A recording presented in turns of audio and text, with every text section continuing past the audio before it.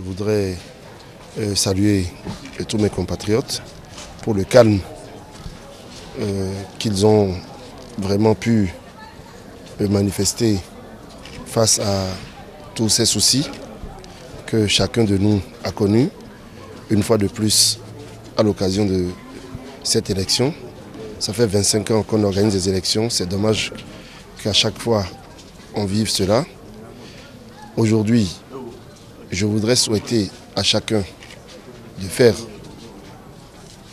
d'accomplir son devoir dans le plus grand calme, avec la plus grande sérénité et surtout qu'à la fin, nous ayons des résultats qui reflètent la réalité des choses et que pour la prochaine fois, chacun de nous, à compter de ce jour, puisse prendre des dispositions pour que plus jamais nous ne revivons des situations pareilles.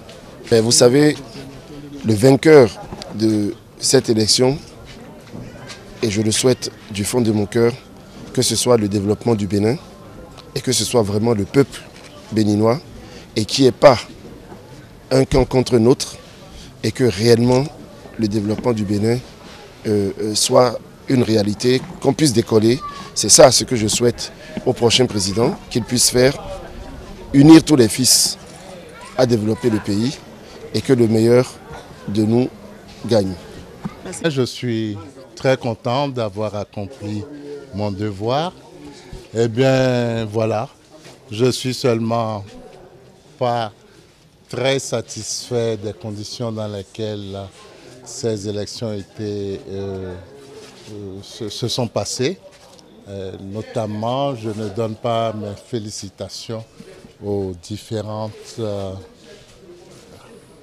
institutions qui ont organisé ces élections. Regardez, il y a des gens qui n'ont pas de carte. Moi, j'en ai deux. Heureusement, on m'a dit de, de sortir la plus récente. Je ne la connais pas. Bon, j'espère que la prochaine fois, ce sera mieux organisé et que c'est dommage. Hein. Depuis qu'on fait les élections, on a toujours ces, ces histoires-là. Les élections devraient être beaucoup plus claires. Mais, n'empêche, les Béninois, nous sommes cool, nous n'aimons pas du boucan, ça ira.